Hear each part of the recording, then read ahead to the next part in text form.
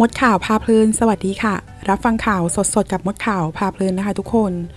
สาวนั่งร้องไห้มาฉลองวันเกิดคนเดียว พนักงานร้านช่วยกันรวบเบิร์ตเดย์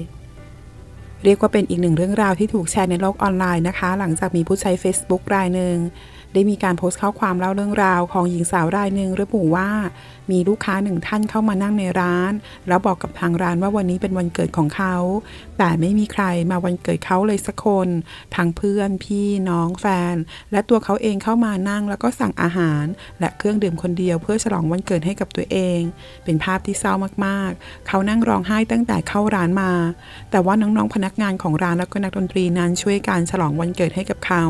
ทำให้วันเกิดเขาดูอบอุ่นมากขึ้น ตอนที่ตัวผมได้ถ่ายภาพนี้น้ำตาผมก็คลอเลยจริง ๆ ผมไม่รู้ว่าคุณเป็นใคร แต่ขอให้โลกใบนี้ใจดีกับคุณนะ ปอลอพวกเราอยู่เป็นเพื่อนลูกค้าจนเลิกร้านเลย